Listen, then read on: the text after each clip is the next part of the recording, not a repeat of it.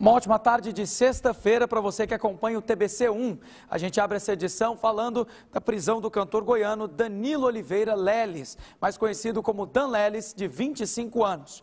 O artista foi preso em flagrante com uma pequena quantidade de droga em Alexânia. Quem tem mais informações para nós é o repórter Lucas Santana. Boa tarde, Lucas. Boa tarde para você também, Guilherme, para todo mundo ligado no TBC Notícias, primeira edição. O Dan Leles, ele que tem apenas 23 anos, conhecido aí como pai do trampinejo, só para quem não sabe o que é o trampinejo, é a mistura do hip hop com o sertanejo. Ele foi preso com essas drogas aí que vocês estão acompanhando nas, estavam acompanhando nas imagens aí, ó. 20 gramas de skunk, que é uma espécie de super maconha, 10 comprimidos de êxtase, além de um frasco de lança-perfume. No veículo também foi encontrado um caderno com algumas anotações. Nessas anotações estavam aí tinha um título de clientes, o que levanta a suspeita da polícia no momento da apreensão do tráfico de drogas. A abordagem aconteceu é, no quilômetro 31 da BR-060, BR-060, sentido Brasília. Ele conduziu um veículo e aí, quando ele foi parado, no momento que ele foi parado, ele estava com um colega dentro do veículo. É, as buscas foram feitas no interior do carro, debaixo dos bancos, e aí eles encontraram toda essa quantidade de drogas aí, uma pequena quantidade na verdade.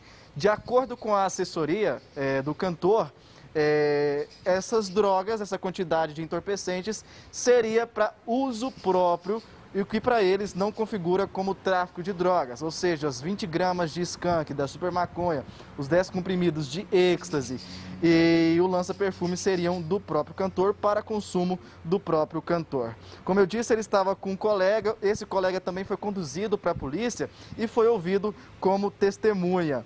O Dan Leles, ele foi encaminhado para a unidade prisional de Alexânia, onde ele ficou por um tempo aí detido. Claro, nossa produção tentou entrar em contato é, com o cantor é, não tivemos ainda resposta. O que a gente sabe é que a assessoria é, confirmou que essa droga seria de uso próprio. Já a polícia é, entende no momento da abordagem que seria tráfico. O Dan Leles, como vocês estão acompanhando nas imagens aí ao lado, ele é o pai do trampinejo, como eu disse, a mistura do sertanejo com hip hop.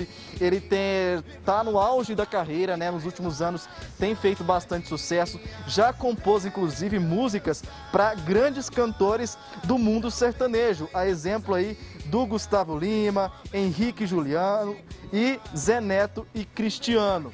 É, nos próximos dias aí deve ter um pronunciamento é, do cantor, um pronunciamento oficial.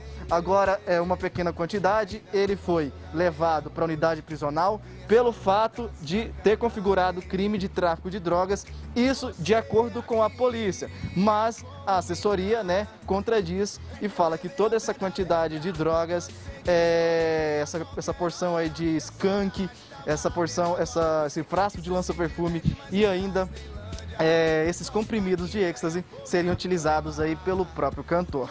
Guilherme, a gente volta com você, mas qualquer novidade sobre esse caso, a gente atualiza aqui no TBC Notícias. Muito obrigado, Lucas. Seguimos acompanhando cada um dos detalhes. Obrigado pelas informações precisas.